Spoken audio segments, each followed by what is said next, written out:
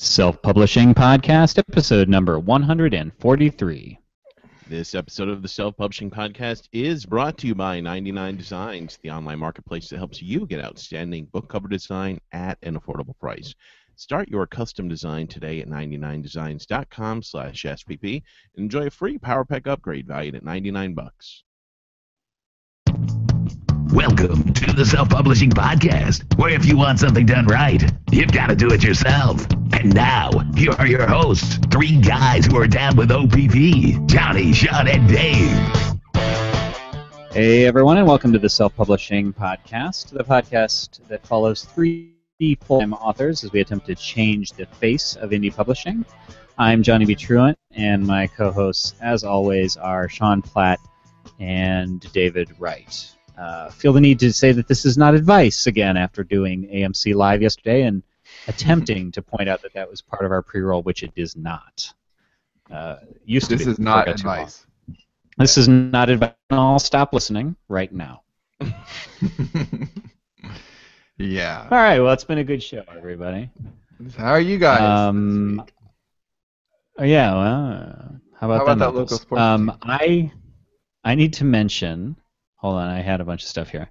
So I, I need to mention that, um, and I w- we won't go into a lot of detail because you guys are probably getting tired of it, but um, we have the the early bird deadline for the colonist session uh, of the colonist summit in Austin, Texas, the 18th and 19th of April. Um, the early bird deadline is passed, but that does mean that we do now have payment plans. So if you're curious, uh, sterlingandstone.net slash colonist and there are six spots left. So there you go. Um, all right, what's new in the world of optimization? Wow. is that how you start all conversations? Um, Yes. wh- wh- what is new in the world of optimization this week? Did we do anything? I, I'm, my weeks are running together. What, what's different this Do we week? want to? Do we want to mention? Um, do we want to say anything about the results of the BookBub promo? Uh, yeah, sure. I think people really care about that.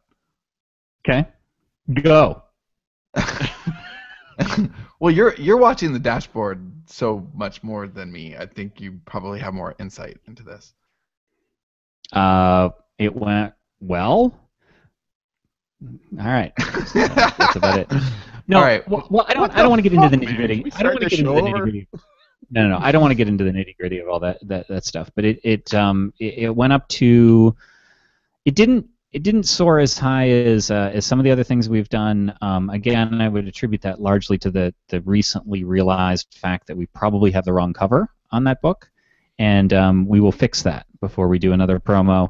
But um, it got up to about. Do you remember how high it got? It was in. Was it? I don't even remember at all. It it didn't make double digits. Didn't no, get into the top 100, but it got close. I want to say like 150. I, I want to say 179 was that's the number in my head, but I don't but I don't know. But I, I do think that that is a very very good um, example of a cover that is a pretty piece of art, but it doesn't look like a book cover. It doesn't convert. I I see Dave has an "I told you so" in his eyes right there. Well, Dave has also been smirking at comments or something over there the entire time. No, no, no. I, I, I was trying to to to, to tweet uh, that, that we're on, uh, but yeah, I was laughing because I did tell you so from the very beginning on that beam cover. You told us about the cover, did you? It just goes to oh, show yeah. that I apparently Sean never and listened. I to it. had many conversations. Yeah, about but he tells us about everything. See, that, that's what Dave still doesn't realize Like a is that when you hate everything, it's just like. No, I didn't just hate it. I Right, you're gonna need to you're, you're gonna need to pick and choose the things that you tell us we're doing stupidly, Dave. Because if it's everything, then we're never gonna But- hear you when then- you're right. But then when the sky's falling, you might, I might not tell you because Even a broken hater is work. Even a broken hater is right twice a day. That's the expression. right. So, so, but but yeah, I, I think that it's a nice piece of art. I, I still do love it. I especially love it up close when you can see the texture and stuff. But whatever, nobody's seen that on a thumbnail, and it's not doing the job of communicating to a reader what it is. But but I do think that the conversion is pretty nice from um, from the Beam to Future of Sex, which does have a great uh, conversion happy cover. So um, I think the plan at this point is to get Beam season three out and um, and and run you know and we'll get new covers for Have you written that one. yet? No. No. No, it keeps getting postponed by um, other things that are quite important. so Other you'll see. Yeah.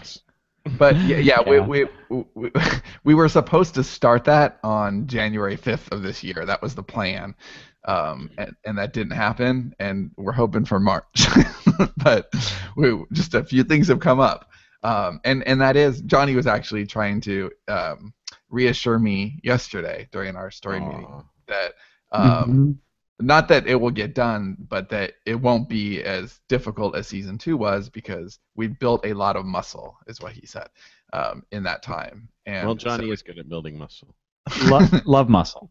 yeah, you know, he said he said the, this book is like my abs, and and so yeah, um, the Beam season three hopefully will not because season two was was hard. Season one was hard, but in a different way, just because it was it was new for us. All we'd written beyond, you know, before that was Unicorn Western, which was so so different. Um, but but yeah, we've we've done a couple million words since season two of the Beam, so there's there is a lot of muscle there.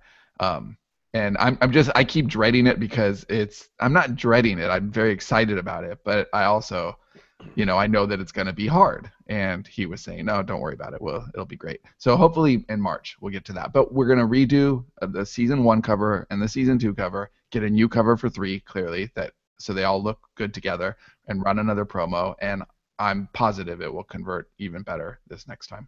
We have some comments. Yeah, comments. so- Oh, I was going to go on about. I'll do the comments after the comments, the, whatever that meant. Well, Uh, Shireen? I was. I'll go on. I'll go on after the comments. I have Okay. more to say on the um the, the BookBub stuff. Uh, Tammy Lebrec, I believe that's how you say the last name. Uh, first time watching live, you bitches better bring your A game. As you can see, we, we didn't start off with it. with our D game. Uh, Tom Hinton says, if you're suppressing Dave, how can he say I hate you all and truly mean it? That, that's fair enough. That's Uh, Hmm. And Robert Yes. Meisner, uh, who pointed out on Twitter, thank you very much. He said you could optimize your Canadian pricing, right, Dave? Uh, so Robert tweeted to us earlier in the week, uh, said, Collective Inkwell, your Canadian prices are a bit insane or something to that effect. Um, and I looked, and we were letting Amazon um, auto match all, all of our prices on our books, and they were pretty high. And I looked at other people, you know, that that, that we're running with, and th- their prices were matching their U.S. prices, and the, the Canadian prices were a bit higher than they used to be. Uh, you know that whole economy thing and the dollar versus Canadian, what is a Canadian uh, the loon I don't know Well, you know, with with Canada, with Canada um, being in the European Union and having that value added tax, I think that's it. we are the experts Because isn't there America? There's America and then other, right? I mean, No, I, I don't. I'm not think really that- VAT on there. I'm not sure, but um, but yeah. So I went and lowered. I think the- it's really unfair that we should have to pay a value added tax when we're adding very little value. that is true. if there were a value-added tax, we'd have to pay a fee.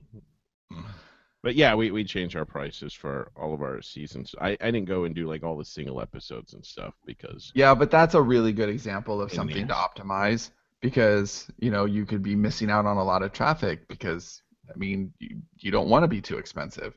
Um, and if that traffic is coming to your page and people are curious, you may not just be missing out on the sale of that book. You could be missing out on that reader. You know, if they don't try you the first time, then you know you, you you've lost. them. Well, th- this just goes to show you that there's no way to win. Okay, because thank you, thank you for finally acknowledging that. because Hi, I have I have been removing that. Like we've been doing a lot of um, a lot of optimization lately, and so I've been in dashboards, republishing stuff, all this stuff, and um, I've been removing the price matching on everything Uh, because it's just like it it's it's so high maintenance to say like because the we, we would we would have something fixed like the British pound, and then um, there would uh, there'd be a you know I don't know currencies change like every day. I've heard that this occurs, and so like they'd be wildly off. And so I just said fuck it. Like I'm tired. I don't want to come in and monitor my prices. Like just let everything match. If it's off by because the the um, argument that I know Mark makes this Mark uh, Lefebvre at Kobo makes this argument specifically about Kobo in Canada is since U.S. and Canada prices uh, currencies are usually very very close or within a buck or so. Um, if you have something that's you know 299 in America and it ends up being 309 in uh, Canada, like go ahead and make it 299 so it you know it has that 99 cent thing or, or the other way around. If it's 289 make it 299 and um, so I've always kind of done that. And, and so we did that. And then you go back in it's like well shit it's it's way off now. And they did that the VAT thing with fucks everything up and so I've just been saying let everything match and I don't give a shit because I don't want to come and monitor it and now Dave's saying you got to go back so it's it's you can't win there's no way to win folks Well, No, Canadians it's, are understanding, so I doubt No, everybody though. It's everybody. Like we were because if it was close, we would go ahead. I- Dave always taken up for the Canadians too. Well, I'm moving there, so. if um, Dave wants to be further from us when we move south, we like I moved to Austin, and Dave's like, okay, well then I need to clearly go north. Oh, Um, I'm going far ass north. He's gonna Dave be would like live in in, the North Pole if he could. he's gonna be in that at 30 days a night. Like that's he got real excited when he heard that. He thought it was a travel uh, movie. Me and Santa 30 days a night. I'm sold. I um, live there. What big deal? A couple of vampires fit right in. All right. Um, so let me let me just f- follow up on the Beam stuff too, because one of the things like um, with the BookBub promo, it's almost worth doing it even if you have absolutely nothing else going on, um, just because like they pay for themselves pretty much right away. Like it's and they just do, and um, Yeah, we never lost money on a book, a BookBub uh, promo. Right, and they pay for themselves usually within like the first day or part of the first day. And you're making sales if you're on multiple platforms. You're making sales on Nook and Kobo and Apple. Um, you know, we had 80 some sales on Apple, and like we, I think we've had 80 some sales on Apple. The rest of our history on Apple. So like having it in one day, it's like oh okay. And um, but but what we did was we lowered the price of season two, which um, is also up at like fifteen thousand right now. Which, you know, like considering that it was much lower than that, like that's that's a really good rank. There were um, thirteen sales of that overnight. Like I woke up this morning and I was like, season two sold thirteen at, at five bucks. Like that's I pretty cool. got that in Slack with an exclamation mark. because we haven't optimized anything. We're just like, okay, well, it's out there. And um, Future of Sale, Future of Future of Sex, and the Girlfriend Experience, which is the Future of Sex book two, both continue to tick along really nicely too, which are related um, worlds and cross-linked. Like they're in there also boughts. One of the things we wanted to do, um, we just sent to the um, to the Realm and Sands list. We sent the Beam promo because what we we stacked we stacked everything up. We had a Buck Books ad. We're gonna have um, Matt from Buck Books on today actually, and um, in you know 20 minutes or something, 15 minutes. And so we had we had Buck Books, we had uh, uh, Kindle Books and Tips, we had e-reader news today, we had BookBub. I had seven days of ads, and then on the eighth day, right before we raise the price, like okay, tell our list too. So you stagger them out, and hopefully we get that um, you know continued elevated price. Then Amazon kicks in with their promotion sort of thing. And so we email our list and um, Lexi's list got it too because the future of sex is in that world. And so those titles are tied together really nicely now in the also boughts.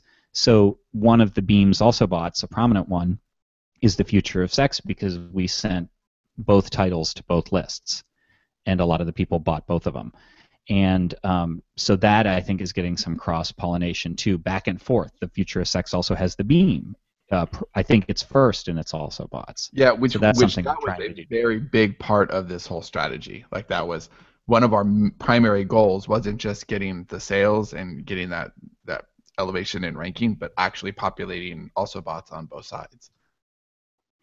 Yeah, um, this is an. I should probably mention this to Matt when he's on because we had a Buck Books ad for um, uh, for for for Future Sex a while ago, and um, so all of Lexi's also boughts for that were like time management and paleo living, and it was like, oh, I think that's because you know they, they got the Buck Books ad and they, they, they bought the and so it was just like it was the least aligned also boughts. So um, they're finally starting to populate in a way that makes sense. And but the one that I want most, the one that never happened before when we re-released when we released this the first time, was the future of sex. I want to show up prominent in the also boughts for the beam, and it it never did because if you like the beam you would like the future of sex as long as you're not like offended by a few racy scenes. So anyway, so that's that. I'm really really pleased by that. Uh, what else we got? What else we got? Oh, um, I'm I'm allowed to announce the thing that um, James sent us the first thing, right? Like the can we talk about this with the the, the beam and the audiobook? I don't Not- think so. I can't talk about the first thing. Okay, well I, I won't. I'll be safe then. But there's something I- cool going on with on. I think I think I think we probably wait. I think. I don't know. I can check the email real quick, but Okay, well we'll we'll we'll announce it. We'll mention it next week then. If Okay. um, do, do you guys have cool stuff? Remember, like, do you have something awesome to share? I have something. I awesome. listened. I listened to the podcast where you mentioned that that would be a good idea, and and when I listened to it, I thought I don't have anything, and I'm gonna forget. there Don't you you always have awesome stuff though? Um, well, maybe you'll think of something awesome. My my my awesome thing is pretty simple. Uh, but I I just started watching. a, Um, or I didn't start. I actually finished the whole first season of a show that I just think is really good. Um, it's called Masters of Sex, and it's a Showtime serial, and it's just fantastic. It's just really really good. It started out kind of slow, and I didn't know if I'd dig it all that much. I like the um, I like the questions it asks. It actually doesn't ask that many questions. It it answers questions that were asked a long time ago. But it's about the the um, the scientist uh, Masters Masters and Johnson. Johnson who who did a lot of um, a lot of the, the sex discovery and a, and a lot of work that nobody else was willing to do back in 1954 is when it takes place, and um, it's just really really interesting how taboo all of this stuff was to talk about. Like you couldn't talk about a female orgasm in public, and you know we've come a long long long way. Uh, but the show is the show is really just fascinating because it's it's like a period piece. If you like Mad Men, you'll you'll really like this show. It's the same kind of vibe. Um, It's Mad Men with TNA. it's Mad Men with a lot of TNA, but but the but it's it doesn't feel gratuitous. It feels exploratory, and um, it's just the writing is great, the acting is great, but the the main lead, I've never seen her in anything else before. But She the- Are you talking about, um, yeah, she's she was she was Jason's girlfriend for a while in True Blood. And she was oh, in that. oh, that that's movie with J.J. Abrams. right. That's right. What She was the is J.J. Abrams? Yeah, the monster one. I forget the name of it. But Super like- 8? No, no, no. The, the, The Godzilla one? Oh, The one- Cloverfield. Yeah, Cloverfield. She was in that. She's been in Oh. a lot of stuff. Well, she is fantastic. She plays uh, Virginia Masters, and she is just, or Johnson. She's just so so so so good. And anyway, that's my that's my share. I just think it, it's it's a great show, and if you like good writing and good acting and and great themes um, and stuff that where they're real meticulous about the period, it's just I can't say enough nice things about it. And I just finished the the first season last night, and I just loved it. I, I've seen a few episodes. Uh, and while it is a Showtime series with tits and ass, um, it is it, it does characters very very well. It's very thoughtful. Uh, the few episodes I saw, they touched on other stuff. They touched on issues of the day like race and stuff.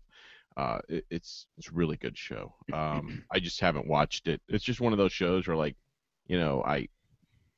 You know, I didn't have time or whatever. You know, No, no, I'm gonna tell you. I'm gonna spoiler. I'm gonna say why Dave didn't like it, 'cause- or not, not why he didn't like it. Why he doesn't watch I, it. I object to nudity. because when I was I was asking him, I, I said, "Have you seen uh, Masters of Sex? Do you think it's worth watching?" Because I love serialized TV, but I only want to watch something that's really awesome because I know that I'm a completist, and once I start, I'm gonna want to keep watching it.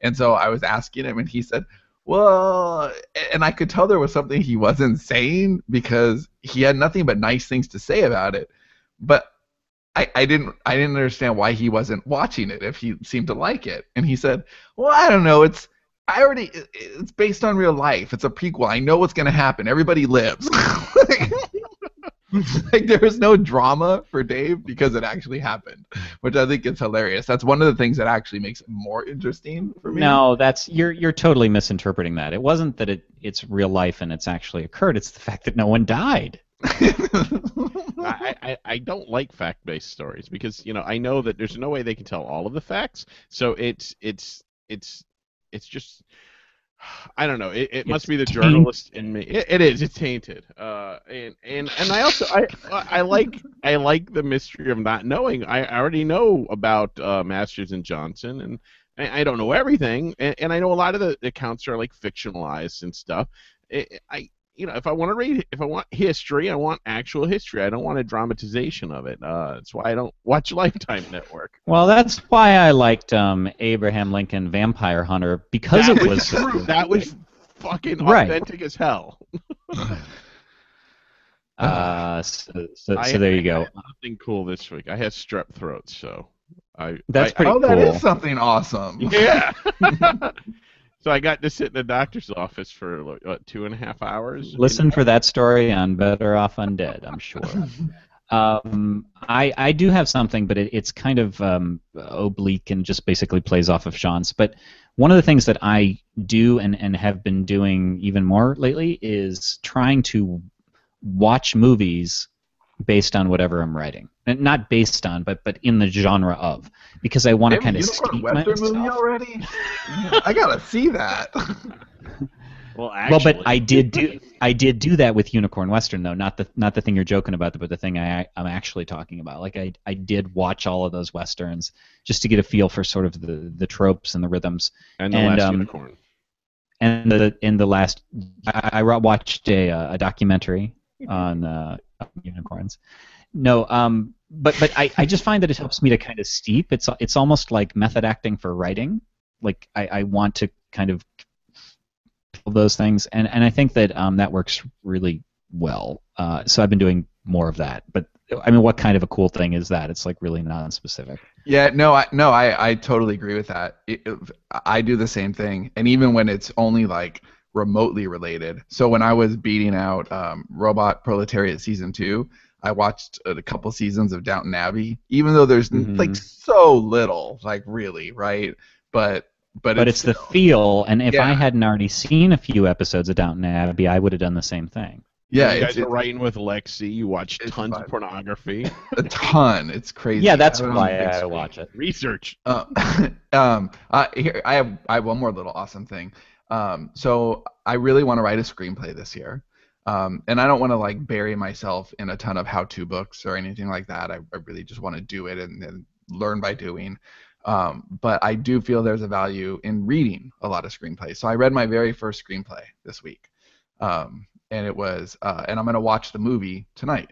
So the first screenplay that I ever um, that I chose to, to it was overwhelming. I didn't know what to choose because I love so many movies, but I went with something that was done by a writer and a director. So the person who wrote it actually directed it. I thought that would be important because I'm really seeing their vision, and it had to be a movie that I really liked and that had I thought a very neat um, composition. And I chose Jerry Maguire, um, which I re- Oh my loved- god, I just watched Jerry Maguire a few days ago. I'd seen it once when it came out and watched it a few days ago, literally. Oh, how did you like it? on Why?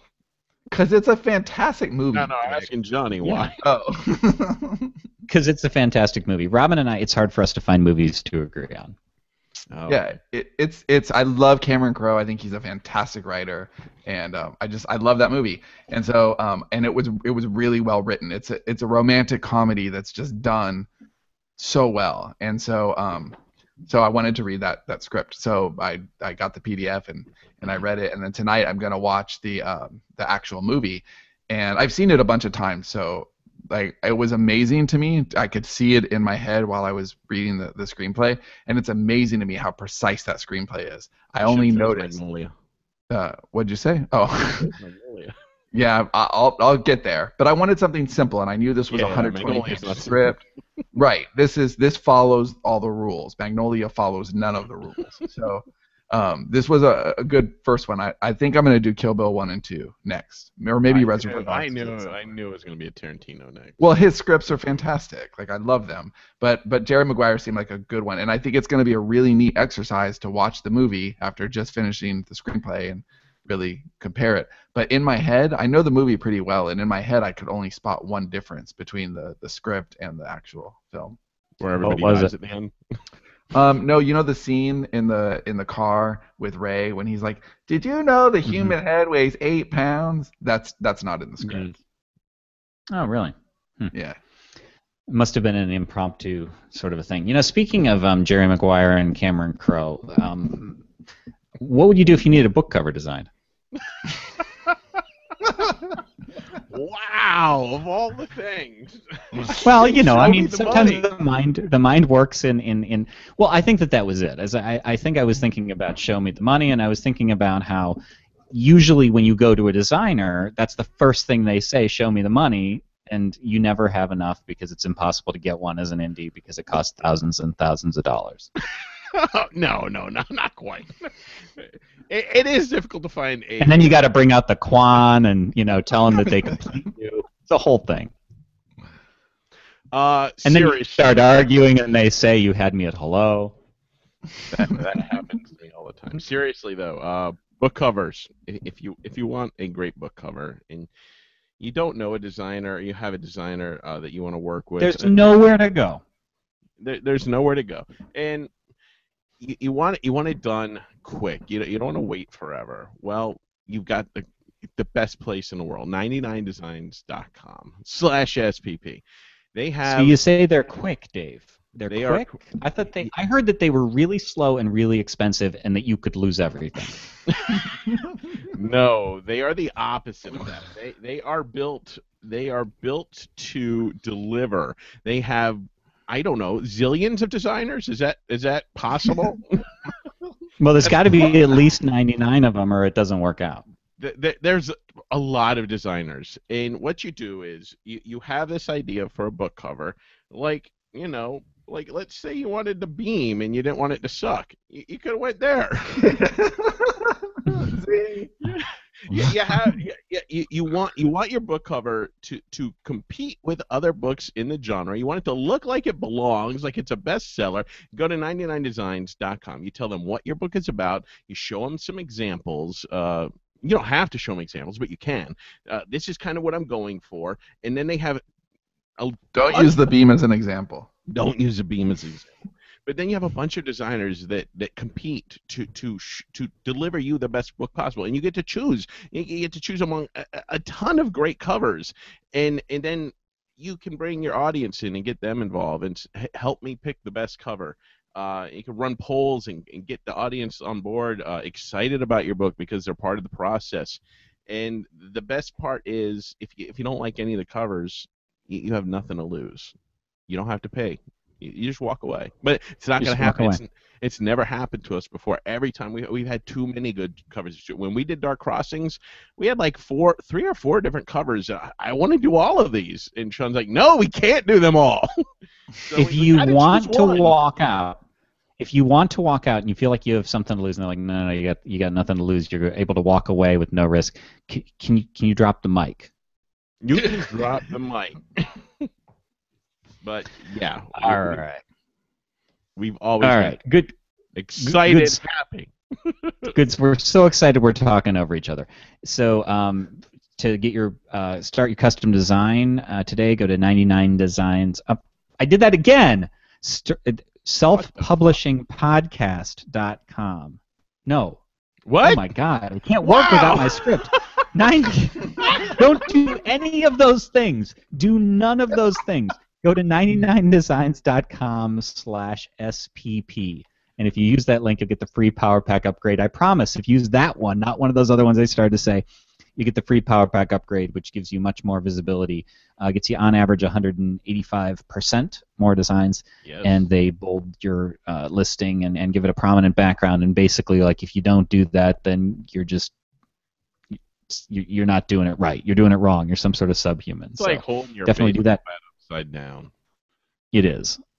That is what you're doing. All right, I am going to attempt to connect us with um, with Matt Stone, uh, who from Buck Books, and we've had a lot of initial success with Buck Books. Um, uh, with uh, we we did a promo for what was the one that we did originally? It was the Future of Sex promo, and then we redid another one for the. That's where we got the paleo. also boughts. And that's where we got the paleo also boughts. So this is a little clumsy because I'm going to contact uh, Matt via Skype, and we don't normally do that. So normally we do a ha- Did Johnny freeze for you hangout too, fully. You guys are Yeah, just you kind of have to suffer through it. so I'm going to go ahead and do this, and I'm going to turn up. Hopefully you guys aren't getting feedback. from you guys? Whoa! Is is it is it bad feedback? No, it's just loud. We're good. All right. I like it because it's like a call-in. We get the. This reminds me of trying to call my mom on BOU. You there, Matt? You there, Matt? I'm I'm in the house. What's happening? Yo, yo, Oh. what up? Fantastic. Hold. This is awesome. my little headphones set up and all that stuff. Okay, I- now I'm really ready. It's it's All on now. For All right. Well, I introduced you as Matt Stone because you said I could do that. Um, because I don't think that anybody was going to buy that you were really named Buck Flogging. Yeah, I was Uh, gonna call bullshit on that.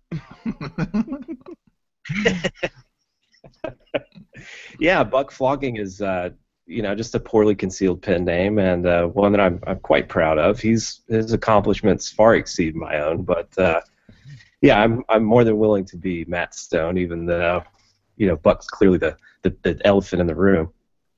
So no, that's speaking, me. so Buck Books is at um, buckbooks.itis.com, right? I probably should have looked.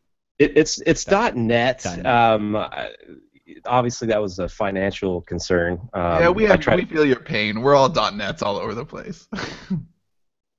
yeah, I didn't I didn't want to spend like five figures to obtain that website address when I could get buckbooks.net for about I don't know twenty bucks. I think I paid for that. So anyway, it is .net. Maybe someday when we're take the world over, we can switch over to buckbooks.com. But yeah, .net for for now. So you're using a um, it's a it's a BookBub style model. It's it's email subscription. You're gathering um, readers uh, and um, then advertisers, which uh, it's currently a closed program uh, for advertising, and I, I believe you said you're going to open that up later. But for now, it's like you're gathering lists of readers, and you're trying to do the you are doing the the BookBub model where you you you gather the list, and then you have access to all these people that want to read.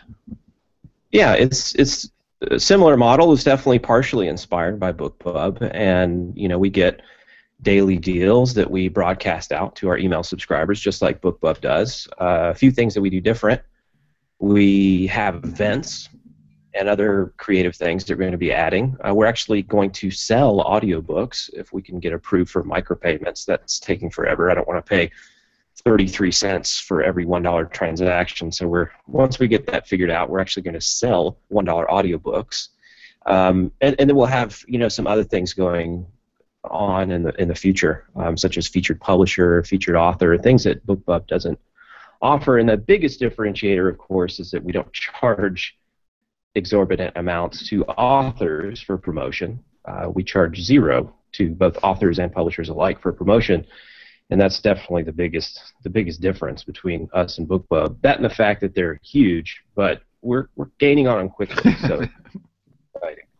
So uh, we did our first Buck Books promo was one where you featured a number of our titles.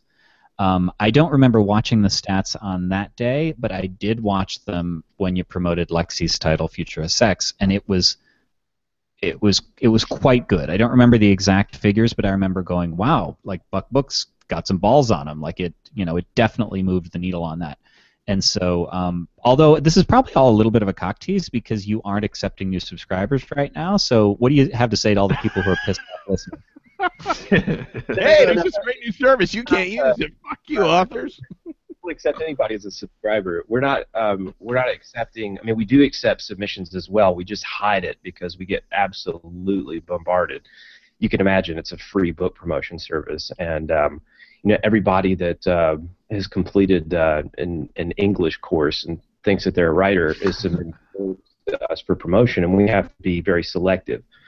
And that's probably that trend's obviously not going to change as we get bigger. It's going to become even more and more competitive to get a promotion. But um, you know, we're looking to build relationships with authors, authors who like us are willing to to promote and and do things for us. And uh, I mean, fact of the matter is, is that it probably will become more like a a club in the future that you're either in or not in. And I hate to be that way, but that's the cost of offering free promotion to authors.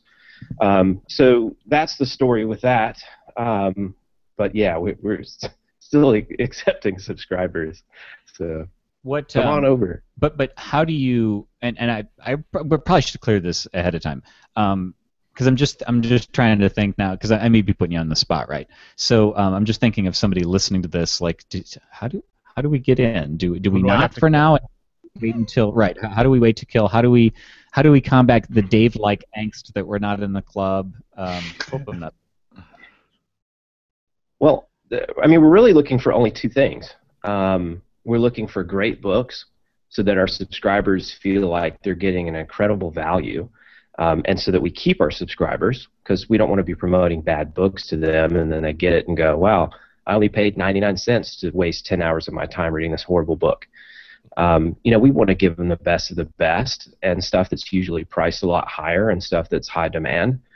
Um, and we need to get subscribers in so that we can continue to grow. That benefits us, but it, it benefits every single author that will ever get promoted through Buck Books from now until the end of time. So, um, you know, we're looking to create relationships with people who have the ability to promote, um, but the quality of the book can trump all that. So, uh, and, and by quality, I don't necessarily mean that we look at every book and we read it cover to cover and go, oh, that was a great book. I think we'll promote that. I mean how our our subscribers are going to perceive that value. So you know. So it's a conversion it's, thing too, right? So things like book covers and got lots and lots of reviews. Um, or if it's just about a subject matter that we know our subscribers, uh, you know, go crazy for whenever we promote, then we'll definitely be willing to promote a book, even if we don't get a single subscriber in return for that promotion. So that that's kind of how it works, and you know, I, I, a lot of authors probably will be left out, but at the same time, I am very pro indie, and it won't be the kind of party where the publishing companies take over. Um, I still want to be promoting the best indie authors in favor of what's coming out of the big publishers. Go, go ahead, Sean. What you were saying. Um, oh well, I was just talking about. I think from from where you're coming from, it's it's almost a conversion thing, right? So uh, a book that is a well-written masterpiece isn't necessarily a home run for you because it, it needs to have the right product description and it needs to have a cover that's going to excite your subscribers. I mean, at, at, at that point, you're more about making sure that the people who open the email are excited to continue opening your emails, right? That that they see, okay, well, this book is relevant to me. So the the good stuff by that definition is stuff that is highly relevant to your existing audience i imagine yeah highly relevant to them and and uh, you know uh, we watch sales stats and ranking stats and how those change on everything that we promote and we can see you know just based on a book's listing uh, title cover subject matter genre um, book description reviews you know, we can look at all those things and make a pretty good assessment about how the subscribers are going to respond to that. And we, of course, are going to be always paying attention to that on an ongoing basis and trying to put the biggest crowd pleasers in front of, of our subscribers as possible, whether they're by somebody willing to send us some subscribers in exchange for that promotion or not. We have to keep our subscribers happy. That's a big part of having success down the line with what we're doing. So, Matt, I've titled this um, episode "What Readers Really Want." So, hopefully, what you just said sort of uh, segues into that. What are you finding about reader preferences and what does tend to convert and what people do tend to want? Well, speaking back, and I, I wanted to touch on this when you guys talked about the promotions that you did with us. Um, right now, our subscribers don't like fiction as much as nonfiction, and that's because of how we've obtained those subscribers. So what we do is we put on events. Our biggest event that we've done, for example, was a, a paleo diet event, nonfiction, obviously, and um, and we got all the big names in the paleo world, the bloggers, the big authors. We got all these books that are normally nine ninety nine dropped to ninety nine cents, and we got tons of people over um, to check this event out, and we gathered up sixteen thousand subscribers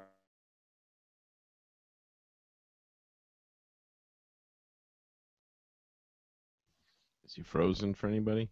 Or is it Johnny's end? I think it might be Johnny's end. I think he may be still hearing it and we're out. Great. this is very exciting. Um, I don't know what to do because. Welcome to the Sean and Dave uh, side broadcast. do you want to have a story meeting? Well, this is on YouTube. Uh, Uh, well, Johnny, if he's still recording, will be on the live audio feed, so that should be fine. well, that's good. I'm glad that's protected. Should we drop out and come back in, maybe? No, we should wait for Johnny to come back. We should just sit here and stare at one another and our audience. Let's talk. I wish we could have a story meeting. All right, here. All right, I'm going to tell you about a book that I just started. Um, Okay, we are on air. That's fine. What Okay, what all right. what else are we supposed to do? I don't know if you're gonna re- tell me about some book you hated or something. Oh, okay, no. Wait, Johnny's to- back. Maybe this show is awesome. the most professional show ever. Uh, Why is this so slow? Are you still on with Matt?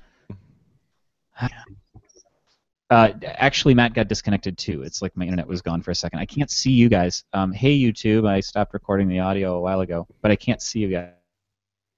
Yeah, Sean was Guys, about to take his see me? clothes off. Yeah, we Yeah, can see a we- we can- version of you. we just see your unicorn. Oh, Okay. now I see you. Now I see you. Okay, there we go. And I and don't. Matt, I you still just see your unicorn. I'm Uh, good Now I see you. here now. The Skype gods or who or whatever just happened. Um, yeah, hopefully that's over. All right, so I'm going to resume this, and then you can continue uh, answering that question. Okay, so sorry about that, everybody. It just got cut off, and um, Matt got cut off too. So everybody got cut off. Um, but you were answering about how you got um, a, a 16,000 subscribers in, and then that was where it got cut off.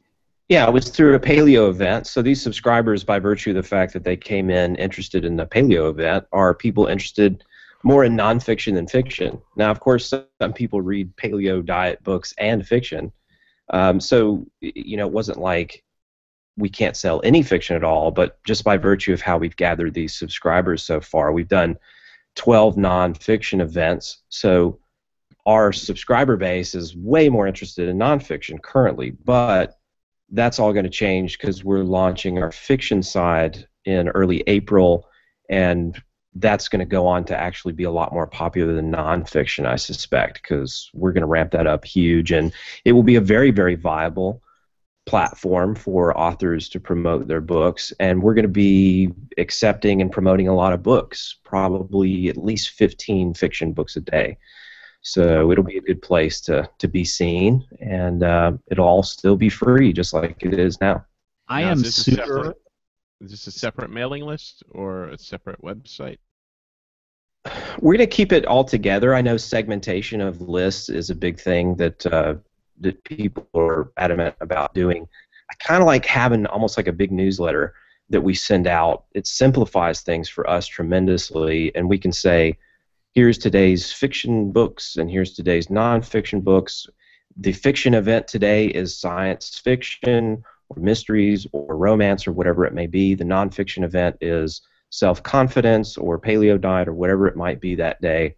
And um, and then we have a few extra little, you know, things for them to play around with besides that. Now, how much? How how is this tied into uh, the publishing company you work with? Is it, in, what, Archangel Ink. or something?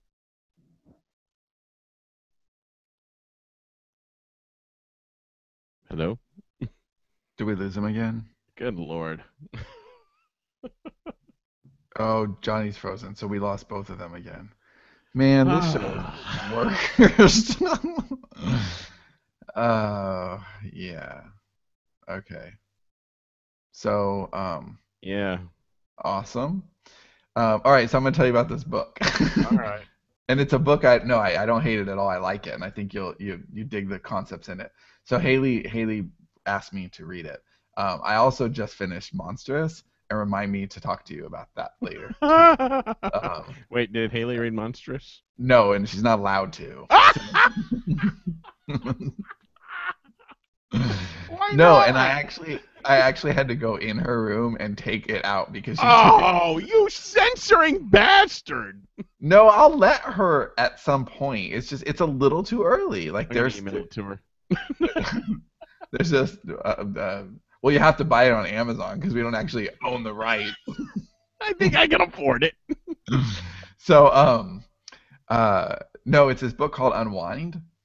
Oh man, I keep getting my my story. I think I have Unwind. It's one of those books I bought and haven't read. Are you there? Are you there? Oh, we're Yeah. here. Okay, good. God damn. Uh, Best show ever. I know, right? Well, the audio won't be too bad, but YouTube sucks. Sorry, guys. Uh, YouTube is used to us sucking. So. Yeah, they are used to us. sucking. You're getting the behind the scenes. All right, so let me resume that one more time. All right, so sorry for the second time, everybody. Um, I was just going to say that I'm really pretty, like, I'm newly impressed that we got the results we did.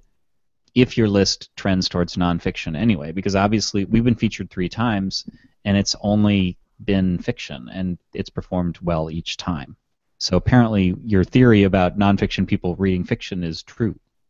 Yeah, well, just in comparison to nonfiction books that we promote, the nonfiction books perform a lot better, but we're still getting some performance out of our fiction books, and we still are getting, uh, you know, some results there. But it's going to reverse itself probably by the end of 2015, and and the big party will be at fiction, and our fiction books will probably perform quite a bit better than nonfiction. There's fiction readers, and fiction readers are notoriously more voracious and in the quantity of books that they consume as well. And once we can attract them and let them know about Buck Books, then it'll be it'll be a party.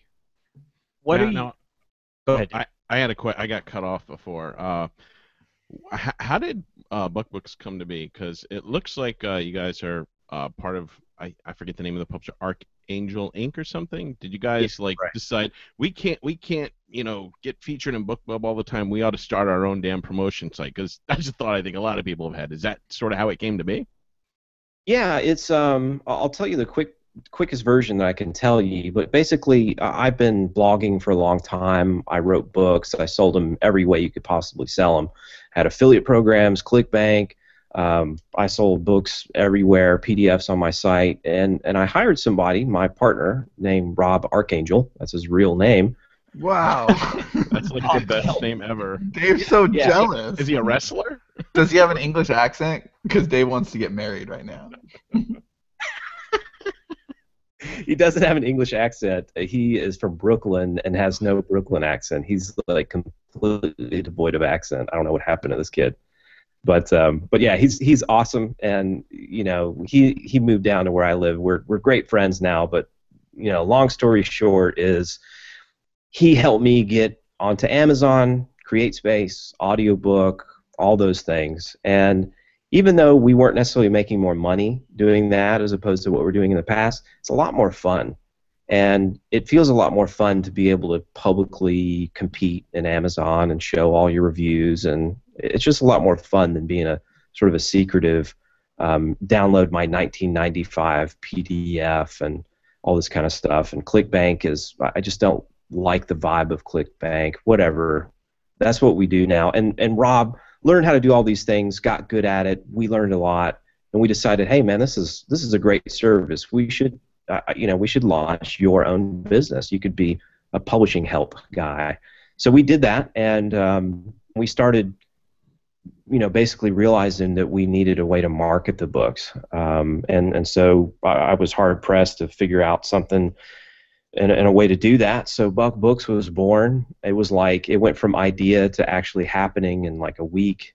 Um, yeah, it was it was crazy. Sounds now I have a lot of experience, and I've seen a lot of people um, do a lot of things on the internet successfully, and I have a lot of great contacts that I built over the years. So that was the advantage that I had, and what uh, allowed us to basically hit the ground running and get you know a couple thousand subscribers on our first day.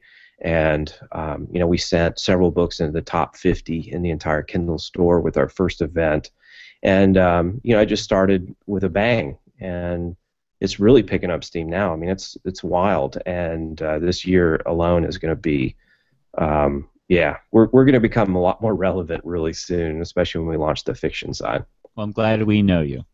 yeah, hey, you guys are part of the club now. The um, what are you what are you seeing in terms? So you, you said that right now people are more um, nonfiction than fiction. That's going to change and all that. But what are you seeing kind of converts with? I mean, either nonfiction or fiction. Like, what are what are some trends that people might be able to take away in terms of uh, great covers or great blurbs or the things that are getting clicks and sales. Well, this is I mean this is what I love about doing this because I've seen hundreds of books come through. I've seen how they perform to the audience and I feel like I've gotten this incredible education about what makes a book listing successful in order for people to respond and buy higher quantities of it. Um, to me, I think the biggest is, you know, I know you guys are, are, fiction focused, although you've had just as much success with nonfiction, really, with Write, Publish, Repeat and your box set that you did and some other things that you got going on. But um, I would say the biggest is, honestly, is probably subject matter uh, or genre, because that would be. Um, you know, this is really a general audience, and it's going to become increasingly diversified over time. So, the more crowd pleasing it is, the more high percentage. Uh, you know, I use all the time the silly example of of a book about raising seahorses as the ultimate non-seller. So the the ultimate niche topic that's very specific is not going to perform very well. Now that doesn't mean you can't be successful with a book like that because there's always an audience, and sometimes the smaller the audience, the easier it is to find those people and market the book in creative ways. But as far as what's selling, I think those big crowd pleaser type of nonfiction topics, like um, books that help you look better, make more money, you know, some of those real core human desire type of things, those books are very successful. In terms of fiction, um, it's a little too early to tell. Right now, I notice one thing I've noticed is that reviews on fiction books are a lot more important than they are on nonfiction. So subject matter seems to be more important for nonfiction. The that, that, that that's you, super true with with me as a buyer. Uh, that's always the truth. If, if it's a nonfiction book, I need that answer, and reviews matter, but with with fiction, it's an experience, and if a lot of people didn't like it, I'm I'm inclined to think, ah, maybe not. That that makes perfect sense. Yeah, fiction is a big time investment. You have to. The books are longer.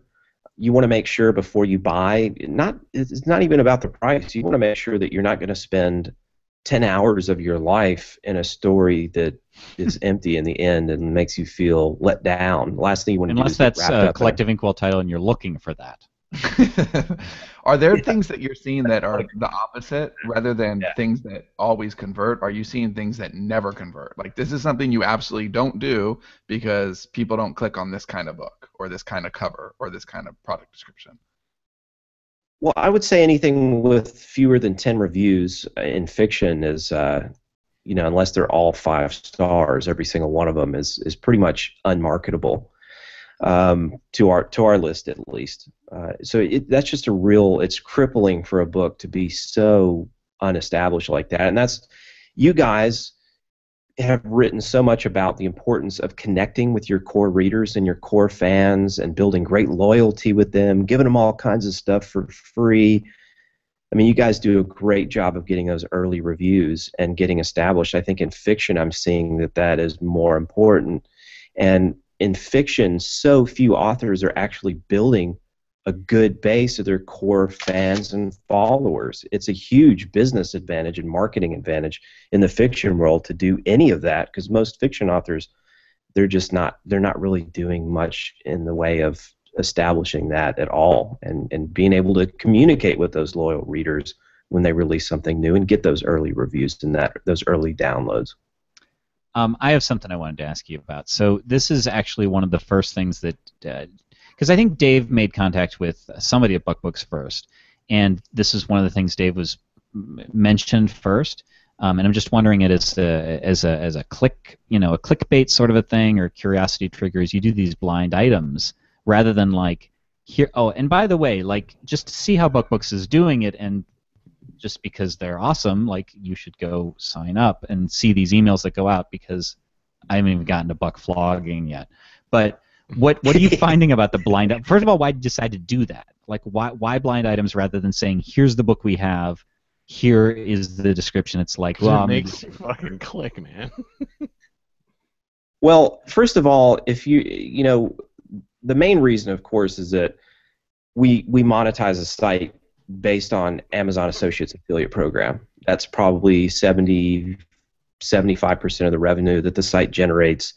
And it's really important that we get people to click on our affiliate links so that we can get uh, a percentage of everything that they buy on Amazon. That's how the site makes money. That's what fuels our affiliate program. That's what en- enables us to not charge authors anything. It's really, really important. Secondly, just from an author's standpoint, I mean, I think you, I think it's much better for somebody to be looking at your listing on Amazon and make the decision of whether they want to purchase that book or not there than it is in an email. So it just gets them one step closer to executing that purchase. And yes, a few subscribers have complained, you know, why don't you just show pictures of the books and stuff like that? But honestly, I, I, that's not where I want people to make the decision about whether or not they want to buy that book.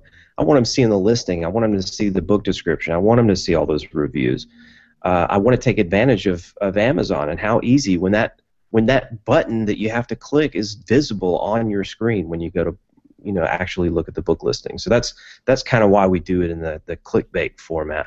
That's that's a great um, point on that too. Is the whole and it's that um, that that the, the sliding thing with, with yes once somebody said yes once by clicking a link they're more inclined to say yes the second time and why would you try and sell the book in the email when everybody's already they've already done that on Amazon. So that's that's well, pretty. My uh, my my question is if if if you if you're doing the blind items, I, I understand why you do it, and, and it's easy to do like the way you guys are doing it. You're doing like maybe five, six, seven books or something. But if you start doing like 15 books, like you said with fiction, that that click through is gonna drop off quite a bit, don't you think? Uh, are you gonna change that up at all? we have sev- several separate things, right? So events are really separate from our daily featured books. So again, that's one thing that, that differentiates us from BookBub because BookBub they send stuff out in emails. That's pretty much end of story. With the events, we actually host events on the site, and our subscribers are only a fraction of the people that show up to see the books that are in that event. The other people that come over are people that our authors send over that are participating in that event. So if you wrote a book about uh, a science fiction book, for example, and you're going to be in there with 14 other authors of 14 other science fiction books with 14 other email lists of fans. And then all 15 of those authors send people over to the same page at the same day uh, to get that cross exposure. There, everybody showing up is going to be interested in science fiction because if you're in interested in science fiction author A, you're probably going to be interested in science fiction author B, C, D, E, F, and so forth. Um, and then we have affiliates that promote uh, as well. So we have over a thousand affiliates who, you know, maybe it's not appropriate if they're they blog about the paleo diet to send people over to science fiction event, but we will get some regular folks in who have websites that are related somehow and they can promote those events directly. Our events currently are actually performing better than our featured books in our email broadcast. So even though there's 15 of them, um, I mean, we've had incredible results. We sent a book all the way to number one in the Kindle store. We've sent 30 books into the top 100 already through our events. And like I said, we've only done 12. So those work out really well. Uh, one event we even had 47,000 hits on the page on the day of the event. I mean, it's just wild. So that's how that works, and it's not as watered down as you would think because it's not just the subscribers that are going over to check that out on the day of the event. Now, uh, John, Johnny had mentioned uh, how how we'd come to find out about you. I forget what the event was, uh, but th- there was something where we were.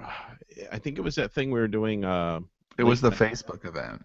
Yeah, the Facebook event, and we, we were talking uh, to to readers and stuff, and a bunch of people were posting questions on there. We were answering them, and somebody mentioned, uh, you know, they they were complaining about the uh, ability to get ads and where mm-hmm. else can you get ads and stuff. And some an, an author uh, was saying Buck Books is awesome and stuff, and he he was doing it in a way that was like uh, off my spam alert. Actually, I was like, why does this guy keep mentioning I Buck Books? remember this. I was like, is this guy affiliated with Buck Books? Because he was talking on such glowing terms, and like I asked in a roundabout way, and eventually he said, yeah, he was.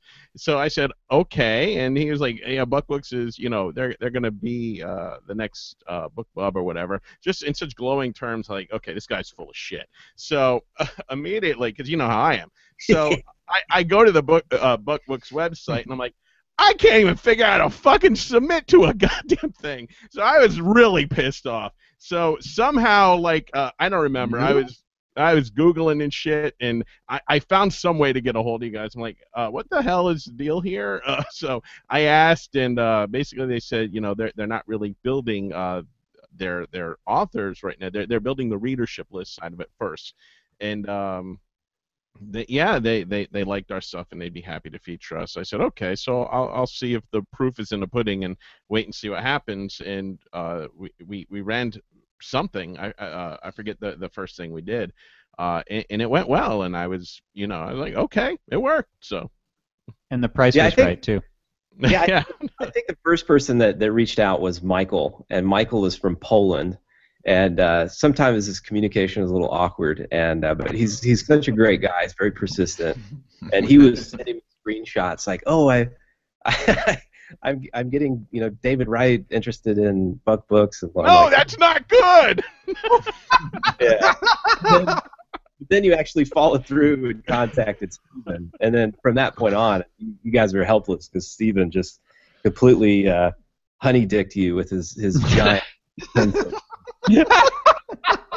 okay, so perfect segue, and this this does need to be the last bit because we have a we have a, a thing we got to get to right at 4:30, and we have BOU first. But um, I do want to ask you. So after the honey dick comment, of course, um, if I mean, first of all, go go to buckbooks.net and sign up if for no other reason than to see the emails because um, oh I know what this is you, have a, you have a character and his name is Buck Flogging which already sounds masturbatory. Like I know it's it's you know you transpose fuck blogging and all this stuff, but it's like it sounds like you're flogging, right? And um, he's, he's like in a pimp chair with some woman behind him. And my favorite comment in I don't know whether Steve said it or you said it in um, said that you got an email that somebody was like, uh, Buck, I'd click on more of your links if your emails weren't so creepy. So, but apparently that works for you, right? So I, I kind of like the tribe trimming aspect of this. Like, yeah, we're not going to be like like BookBub. Like BookBub is not using buck flogging, but it's working. well, here's the thing. Eh, I hate anonymous commercial solicitations. Right? It just comes from an entity. It feels corporate. It's not fun, and everybody always connects more with an individual, even if that individual is completely fake. Uh, but, but I will have you know that a lot of people do not think that Buck is fake. He mentioned something about. Um, he mentioned something about how hairy Mrs. Mrs. Buck is, and uh, all these all these women were writing, "Oh, this is from this is from this condition, and really should be on a low carb diet or this and that." It was oh hilarious. my god! yeah, Buck, yeah, Buck is great. Can we Buck talk is, about the uh, the recipe book? Oh my god! Is Yeah. that, are we allowed to talk about that? Because that was a funny exchange too. Yeah, you can you can talk about whatever you want. It's nothing is sacred in Buck's world. Well, I didn't remember. Um, I don't remember how it, it, it. But it's like one of those things. Like you, you kind of when you're new to somebody, you feel them out, and you're on your best behavior, and so. You know, like we were professional. Like the first time Dave contacted me was a pro, and we were all being pro. And then it's the tipping point during this email exchange. We realized that these guys are as depraved as we are, and so Steve sent over a cover of a cookbook and it had a chicken on it. Uh, I'm sorry, not a chicken, a rooster. And it was a chicken cookbook, and the title was How to Eat Cock, which is like the best cookbook title ever. Got it from my grandma. You know fuck you know how fucked up Steven is. I don't I don't know. I'm so glad I found this guy because he is he so funny. Like what I the original vision I had for Buck was funny, but he took it up like four notches. And he actually sent me that book in in paperback as a Christmas gift. That's how, how wrong for guy is, and I pay him like basically nothing. Um, I pay him a little bit to do all the stuff that he does, and he, he just insisted that I mention, you know, the giant size of his geni- his genitals, and that's really all the payment that he requires, in addition to the you know few nickels that I send his way. So you know, I don't know where I found this guy, but he's he's amazing. All right. Uh, Well, I, I just Oh. gonna do one quick comment. Roland Denzel said you built some build up some trust on the blind items. At first I rolled my eyes, but now I trust you uh, mostly.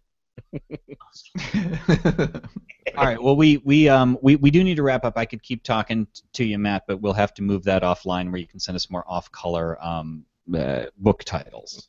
That'd be great. Book That'd be great. So um, thanks everybody. Uh, thanks Matt. Thank you.